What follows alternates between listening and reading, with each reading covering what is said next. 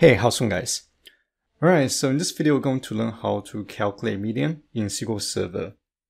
So to learn how to calculate median, I'll be using this exercise problem from HackerRank uh, since this problem is designed to calculate median value from a table. Alright, so here I'm choosing my uh, database system as Microsoft SQL Server. So from the problem we have a table called station. And if we look at the description, create the median of the northern latitude from station table, and round your answer to four decimal places. And by default, uh, in SQL Server, there's no such function as median function. Right, so I want to uh, take you to uh, this function's documentation first. And the function is called percentile disc. So this function will compute a specific uh, percentile for sorted values uh, in an entire data set or entire row set. Now I want to scroll down to the syntax. Alright, so here let's look at the basic syntax example. So here we have two different uh, variation of the function. One is called percentile continue, uh, underscore CONT, and the other function is going to be the percentile disc function. And 99% of the time, you'll be using the percentile disc function, which is going to return the actual file from the row set.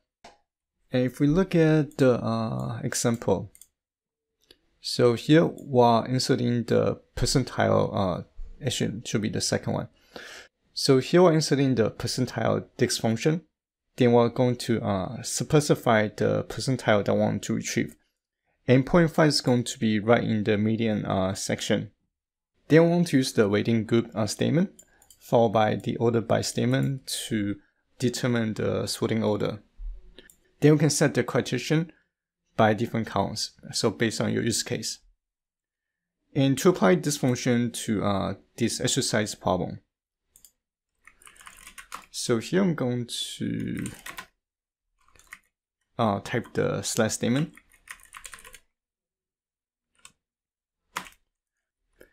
And I'm going to copy the function name over so for the median value, it's going to write in the center and it's going to be uh, 0.5.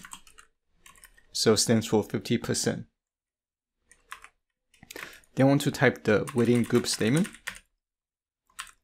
And since the median is going to be based on the uh, northern latitude column, so our order by statement is going to be based on latitude column. Then we need to insert the over clause as well. And since there's no uh, by column, so I can simply insert uh, the over clause to finish the function. Now to finish the SQL query, we need to convert the uh, answer to uh, four decimal places. So here I'm going to use the convert function and I'll set the data type to decimal.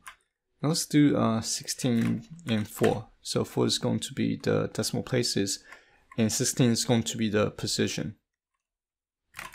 Alright, so here if I run the code here, I want to show you something. Oh, so here I'm getting a syntax error from, let me take a look. Oh, I forgot to close the function. Alright, so if we look at the output, we have the uh, median value and because this is a window function, so it's going to insert the median value into every single row. Now for the output, we just need to return a single value. So here we can use the distinct uh, statement to remove all the duplicates. Now do the uh, validation again. Now the SQL statement is going to uh, remove all the duplicates and return 83 0.8913.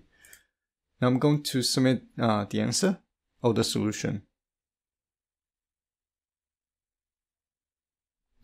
Alright, so here I can see that my answer is accept and the answer is correct. Alright, so this is going to be everything I'm going to share in this video and hopefully you guys found this video useful. And as always, thank you guys for watching.